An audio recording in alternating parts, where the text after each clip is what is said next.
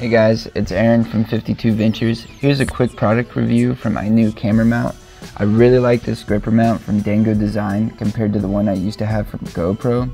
First off, I can easily open the mount with one hand and really I can attach it to anything. So first we're going to do the handlebar.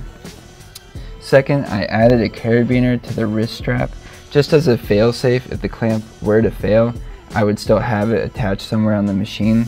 And I think my favorite feature is that the spring-loaded rotation makes for fast adjustment.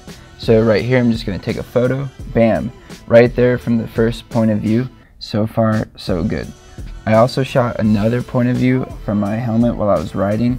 It stayed on the whole time with no problem, and it captured some pretty stunning views. Well, that was the review. Thanks for watching. Here's the footage of the trip I recorded from both point of views, so check it out.